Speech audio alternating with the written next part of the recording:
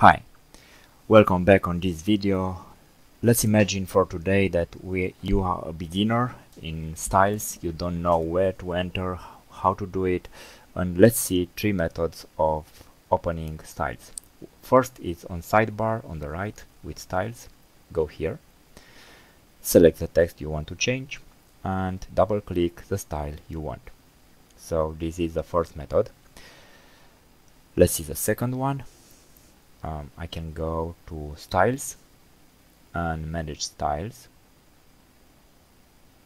It's the same um, sidebar okay?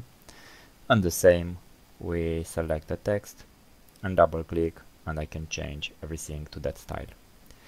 Let's see the third method. Press F11 F11 I opening closing F11 opening and so on. So the same I can select the text, double click here, pressing F11 and have more space for changing. If I want back, F11 and uh, changing again to paragraph. F11 and I close everything. Let's open again F11 and now let's see here what tools we have. We have six here in the top, paragraph style, character style, frame styles, page styles, list styles, and table styles.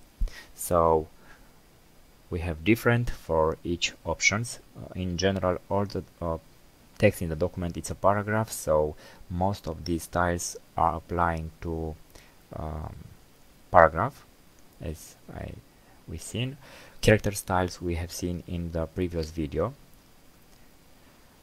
With um, that red text. And let's talk about something else now. Let's uh, create a new style. How to create a new style. Our style. Let's write some text here. And let's select it. Let's uh, change how we want it. Let's bold italic centered let's remove the point the dot here. And we want this kind of text this style to be our style. We go here and from here we choose new style from selection. Okay let's rename it selection bold. Okay so now I have this style. If I want for example um, let's see we have here in the top we have a filter. What to see? We can see with custom we can see just the styles we created. Let's select this paragraph and double click here.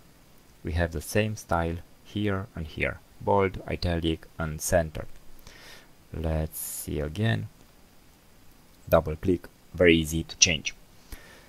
Let's go again select all paragraph everything gets back to normal. Very easy to use these styles. Let's see again. Okay so just need to select and avoid using this toolbar when using styles. This is manual formatting and this is style formatting so when using one kind of uh, formatting, avoid using another one. One option here is to show preview. For example, you can see here it's a normal text and uh, all the styles I can see here uh, with simple text, but I can see what they are doing. If I check that, I can see, for example, if I click here, will be bold and italic and with this size. So it's very easy to see what the result will be. So I prefer with that checked. Hidden styles uh, are styles that are hidden, okay, of course. For example, I can select all text except the styles I want to use. Um, chapter and um, let's find what I use. Paragraph and let's see more. I want I want I want default. Let's search for default. Default is here. And now hide. We I've hidden everything except the style I use. So now I can see very easy uh, I have hidden styles and uh, with all I have uh, all styles all styles that I that are shown that are not hidden.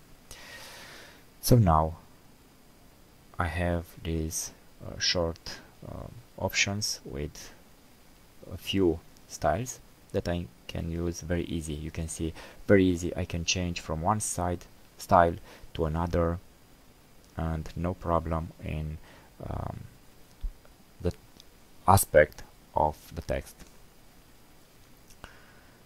let's see more about that. Custom styles are styles that are used in the document. Automatic. Uh, let's go to hidden first. Because we are we don't have many styles because they are hidden.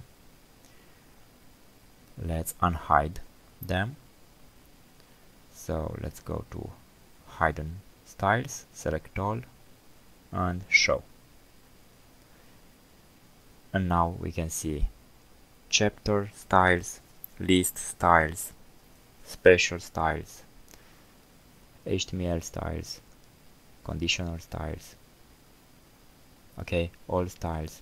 So depending what you want you can choose these filters as you please. Thanks for watching and please subscribe for more video. Thank you